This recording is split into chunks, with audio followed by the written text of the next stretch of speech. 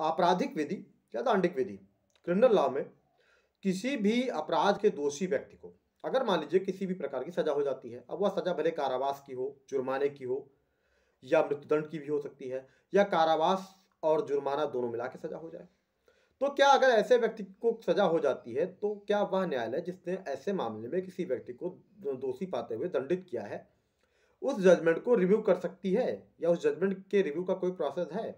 या मान लीजिए निर्णय अगर न्यायालय ने दे दिया है तो वह निर्णय क्या न्यायालय परिवर्तित कर सकती है और परिवर्तित कर सकती है तो कब कर सकती है? और संशोधन अगर हो सकता है कोई उसमें तो क्यों हो सकता है? किस कारण हो सकता है? कब हो सकता है? क्या इसके लिए कोई प्रक्रिया है ऐसी?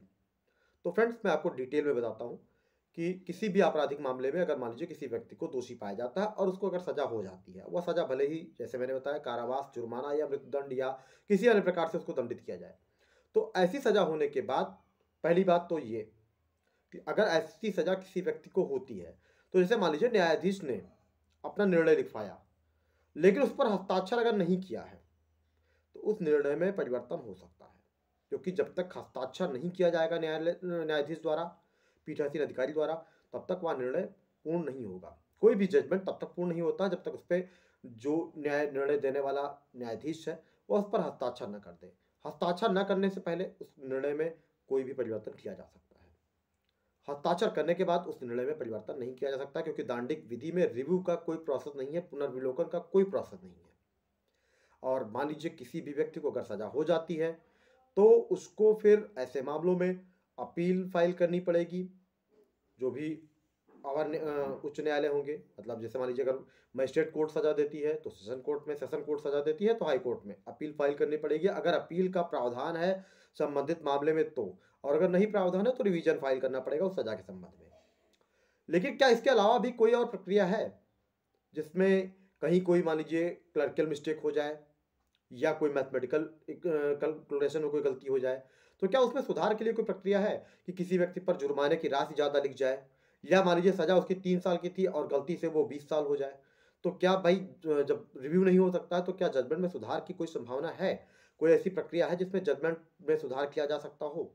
कि अगर गलती से मान लीजिए किसी व्यक्ति का नाम गलत लिख जाए, या सज़ा उसकी तीन साल की हो जैसे मैंने बताया, और सज़ा पाँच साल की लिख जाए या दस साल की लिख जाए तो अगर रिव्यू का प्रोसेस नहीं है तो फिर तो ज़ाहिर सी बात है कि वो सज़ा अप्लीकेबल हो जाएगी। क्योंकि निर्णय उस पर न्यायाधीश ने हस्ताक्षर कर दिए हैं। हस्ताक्षर से पहले तो न्यायाधीश उसमें सुधार करने का अधिकार रखता है, जो निर्णय को बदल सकता है, लेकिन हस्ताक्षर करने के बाद क्या न्यायाधीश को कोई ऐसी विधि प्रभावशाली बनाती है या ऐसा कोई अधिकार देती है जिससे वह अपने निर्णय में कोई परिवर्तन कर सके? कि मान लीजिए अगर कुछ भी गलत लिख गया हो निर्णय में तो क्या परिवर्तन का कोई आधार है सिविल क्रिमिनल विधि में, दांडिक विधि में? कि सिविल में तो ये उपचार है कि आप निर्णय को रिव्यू के लिए डाल सकते हैं। तो फ्रेंड्स, दंड प्रक्रिया संहिता उन्नीस सौ तिहत्तर की धारा तीन सौ बासठ। धारा तीन सौ बासठ में यह प्रावधान है कि अगर किसी व्यक्ति को, मान लीजिए सजा हो गई, लेकिन अगर वहाँ पर कोई क्लर्कियल मिस्टेक हो जाती है या मैथमेटिकल कोई मिस्टेक हो जाती है, जैसे मैंने बताया कि जुर्माना जो है, वह जोड़ते समय अगर मान लीजिए ज़्यादा हो जाए या सज़ा ही काउंट करते समय ज़्यादा लिख जाए, तीन की सज़ा पाँच साल में हो जाए या दस साल में कैलकुलेट हो जाए, ऐसा कुछ अगर हो जाता है या मान लीजिए किसी का नाम गलत लिख जाए या जो न्यायाधीश ने जो निर्णय दिया है, उसमें कहीं कोई सेक्शन गलत हो जाए या किसी अन्य तरह की त्रुटि हो जाए। तो उन त्रुटियों को मैथमेटिकल इक्वेशंस को क्लर्कल मिस्टेक को न्यायाधीश जजमेंट सुनाने के बाद, हस्ताक्षरित करने के बाद भी सुधार सकता है।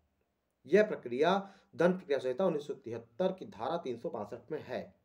लेकिन किसी अन्य तरह के निर्णय में परिवर्तन नहीं कर सकता। जैसे मान लीजिए, अगर उसको सजा सुना दी गई कि सजा तीन साल की होगी तो सजा तीन साल की होगी, उसमें कोई परिवर्तन नहीं किया जा सकता। लेकिन अगर मैथमेटिकली कोई कैलकुलेशन गलत होती है या क्लर्कल कोई अन्य मिस्टेक हो जाती है, जिसमें जुर्माना भी या सजा भी मान लीजिए गलत लिख जाती है तो ऐसी सिचुएशन में उसमें न्यायाधीश सुधार कर सकता है दंड प्रक्रिया संहिता की धारा तीन के अंतर्गत।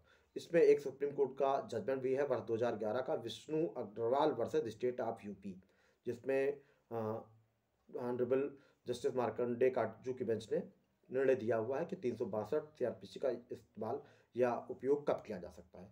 तो फ्रेंड्स ये ध्यान रखिए कि दांडिक विधि में सजा होने के बाद अगर उस मामले में अपील के लिए प्रावधान है तो अपील होगी या रिवीजन होगा।